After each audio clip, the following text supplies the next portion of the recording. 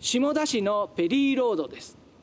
映像の専門家から高校生たちが動画の撮り方などを教わっています。青春し放題というプログラムのワンシーンです。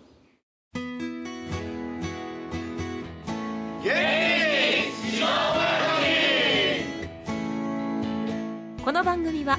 ご覧のスポンサーの提供でお送りします。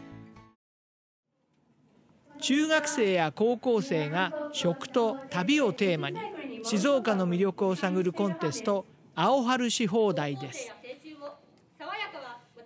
16校が3ヶ月にわたって社会人と交流しながら企画に取り組みました。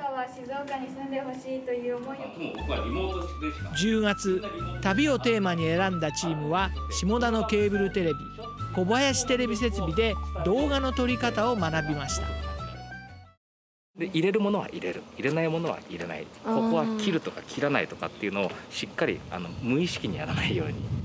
ストーリーを持ってもらうっていうと目的に沿ったものとか動画の中に込めることができると思うのでそこを意識しながら撮影をしてねっていう話を今もしてました。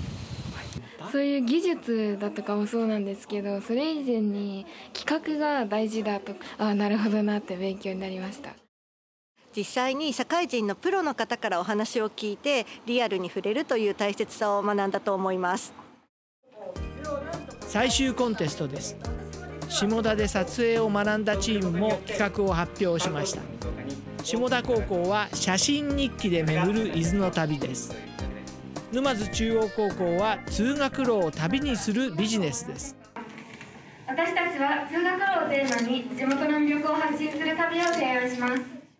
の旅では私たちの通学路の中にある魅力的な場所を歩いて体験してもらいます。静岡魅力探審査の結果食の部は静岡農業高校が爽やかみかんのソースで最優秀賞に。旅の部では沼津中央高校が通学路旅で最優秀賞に輝きました高校生にとってはですねこう社会人からこう新たな気づき学ぶ機会と今日今回はつながったと思いますが我々は高校生から新しい気づきとか、えー、学びが得られたかなと思って驚いておりますこの番組はご覧のスポンサーの提供でお送りしました。